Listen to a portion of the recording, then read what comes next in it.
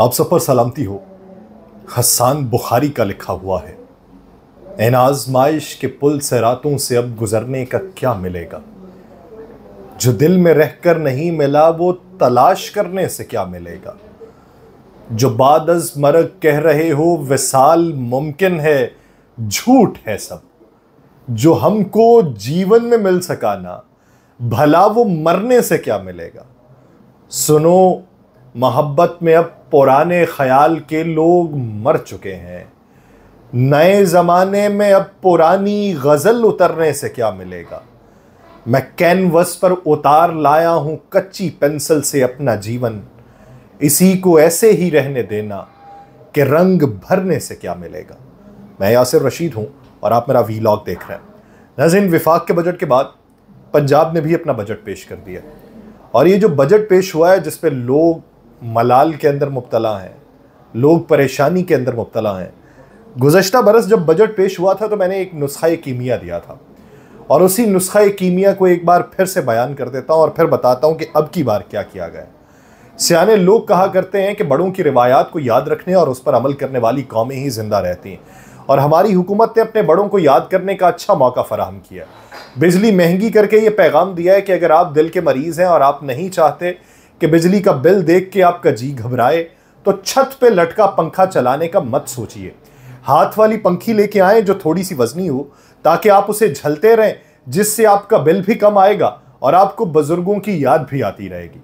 और मुसलसल झलने से आपके बाजू के आसाब भी मज़बूत हो जाएँगे। अगर आपके घर में वाटर डिस्पेंसर है तो उसको भी बंद कर दें। एक घड़ा लेके आए, उसमें पानी भर के रखा करें, उससे पानी पिया करें। डिस्पेंसर से ठंडा पानी पीने को मिलेगा और मुफीद सेहत भी होगा।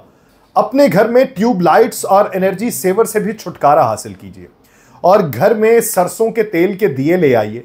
शाम ढलते ही वो दिए अपने बावरची खाने, गसल खाने और अपने घर की मुंडेरों पे जला दीजिए, जिससे आपको महलाती ज़िंदगी, गाँव की याद और शहर की रिहाइश की मिली जुली कैफियत का अंदाज़ा होगा और आप एक हाइब्रिड लाइफ की फील में चले जाएँगे।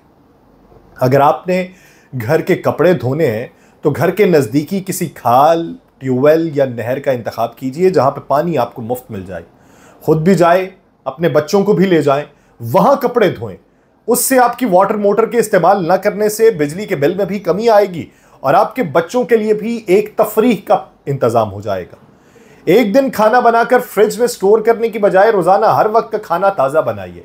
उससे फ्रिज के इस्तेमाल से भी जान छूटेगी और हर वक्त खाना बनाने के अमल से घर की खातन में भी चुस्ती आ जाएगी। और लकड़ियों पर खाना बनाने से गैस की लोड शेडिंग का झंझट भी खत्म हो जाएगा और आप हाइजीन खुराक खाने वालों में शामिल हो जाएँगे। बसूरत दीगर, अगर आप रोज़मर्रा के मामूल के मुताबिक इन अशिया के इस्तेमाल को जारी रखना चाहते हैं तो आप फिर बहुत तगड़े इंसान हैं। जो आप अभी से कर रहे हैं, अगर वही करना आप चाहते हैं तो दिल के अच्छे से डॉक्टर को भी ढूंढ रखिए। क्योंकि ये पैगाम सुनने वालों में से हर दूसरा शख्स जो है, वो इस अमल से कासिर है कि वो बिजली के बिल्स की अदायगी में साहिब हैसियत हो। ना तो वो ये इस्तात रखता है कि सोलर सिस्टम लगवा सके और ना ही ये इस्तात रखता है कि हर महीने बढ़ने वाले यूनिट की कीमत पर इतमान से बैठा रहे।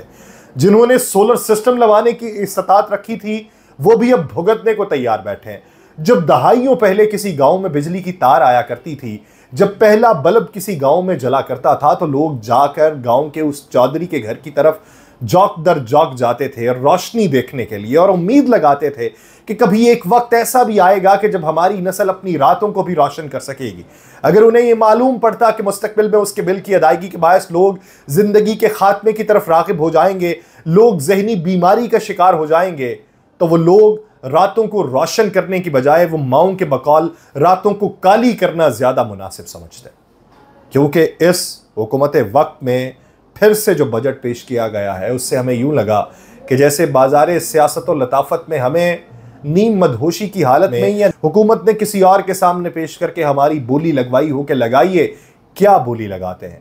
हमारी मुख्तलफ मामलात के ऊपर मजम्मत के बाद भी अभी मरम्मत में कुछ कमी है कि हमारी अलाइनमेंट इस दौर के सबसे बेहतरीन खरादिए इसे करवाई जा रही है। हम वाइटामिन सैलरी की कमी का शिकार हैं। हम मुख्तलिफ़ वाइटामिन के शिकार हैं वाइटामिन मोहब्बत का शिकार हैं। और हमें टैक्स का टीका पहले लगा होता था, लेकिन अब पूरी की पूरी ड्रम की बोतलें लगाई जा रही हैं। और इसके बाद हमें मालूम नहीं है कि हम किसी इंसान जैसा बर्ताव करेंगे, या किसी जॉम्बी की तरह, या किसी मेटा ह्यूमन की तरह बिहेव करना शुरू हो जाएँगे। और हमें इस हद तक कारीगर बनाया गया है कर्जा मांगने में कि एक दूसरे से मांगते रहिए और चौक चौराहों पर खड़े हुए भिखारियों से आप तरक्की करते चले जाएँ। बिजली की बिलों की मद में आने वाला खर्चा हमें सहराओं के उस खपरे सांपों जैसा लगने लगा है, जो एक मिनट में डसे तो आपकी मौत उसी वक्त वाक़ हो जाती है। लेकिन वो बार बार हमें डसे चला जा रहा है और हम सांस लेते चले जा रहे हैं। तो इसका मतलब कि हम खुद इतने जहरीले हो चुके हैं कि जिस दिन हम डसने पे आ जाएँगे तो वो चंद सेकंड्स तक मौत किसी की वाक़ हो सकती है और इस जहर का तरियाक शायद उनके पास मौजूद ना हो। बहुत सी चीज़ों को आउटसोर्स करने का दावा करने वालों के तो अपने घर भी आउटसोर्स से चलते हैं। लेकिन आम शहरी के घर का खर्चा तो सारे सोर्सेस के इस्तेमाल के बाद भी पूरा नहीं होता। जिस तरीके से आज सवाल उठाया गया एक्सप्रेस के रिपोर्टर की तरफ़ से, उसका जवाब किसी के पास मौजूद नहीं था। ये हुकूमत सादा सा ऐलान कर दे कि हम मुगलिया, मंगोलिया और अनातोलिया सल्तनत का एक कॉम्बो बन चुके हैं कि जहाँ पे मुगलिया सल्तनत की तरह किसी को बात करने से पहले हत के इज़्ज़त कानून के तहत आली जा जान की अमान पाऊँ तो कुछ अर्ज़ करूँ का जुमला कहना लाजिम होगा। या फिर मंगोलिया सल्तनत की तरह जिस जगह पे जहाँ पे जी चाहेगा वहाँ पे मलकियत अपनी ज़ाहिर कर दी जाएगी, चाहे उसके हसूल के लिए घोड़े दोहराना पड़े, सरों और दस्तारों के मीनारी क्यों ना बनवाना पड़े। और हम अनातोलिया की सल्तनत की तरह अपना शहर बचाने के दावे तो करते रहेंगे। अपनी माजी की कारकर्दगी पे इतराते रहेंगे। अपने सरों के ऊपर ताज की कहानियाँ बयान करते रहेंगे। शहर की दरों दीवारों पे अपनी पड़ी हुई छाप को गिनवाते रहेंगे। लेकिन अपने दुश्मन की हिकमत अमली को नहीं जानेंगे और अपना शहर गवा बैठेंगे। क्या करेंगे? हमारे पास क्या बचा है? यानी हर साल आप इजाफे पे इजाफा करते चले जाएँ। जब इस तरह के फिर सवाल होने लगे कि क्या पचास हज़ार कमाई करने वाले से ही सिर्फ़ पूछा जाएगा? क्या उसकी ही मोबाइल सिम बंद की जाएगी? क्या किसी से यह नहीं पूछा जाएगा कि अपने महलात किस तरीके से बना लिए?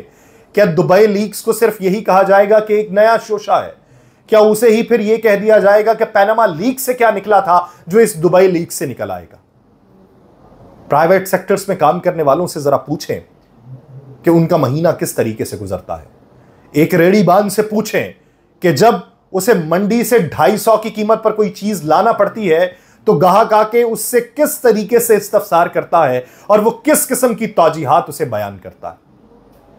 पूछें। पूछें, उस मजदूर से पूछें कि जिसकी उजरत आपने छत्तीस हज़ार रुपए मुकर कर दी है, लेकिन बैंक्स के बाहर नौकरी करने वाले गार्ड जो हैं, वो पच्चीस हज़ार से ज़्यादा नहीं लेते।